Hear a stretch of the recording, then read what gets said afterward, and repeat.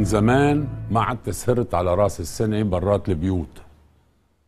لكن من بين أصحابي في مين بعده عم يسهر بأماكن عامة أو بمطاعم أو بأوتيلات فخمة. وعرفت من كم يوم إنه في ناس دفعت 3000 دولار بدل عشاء لشخصين مع بروجرام كان ممكن خالتي تعمل أحسن منه.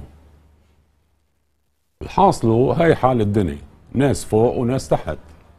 بس إنه أنا مش مقهور بلا مقهور. خصوصا إنه كنت قايل من كم يوم إنه في 28% من اللبنانيين تحت خط الفقر و27% نسبة البطالة بين الشباب. هيك كنت عم فش خلقي قدام صاحبي لما شفته نفخ وقال لكان شو بتقول عني؟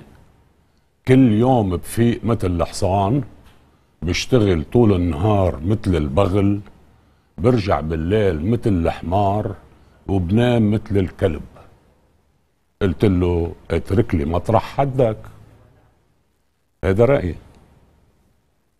فكر فيها.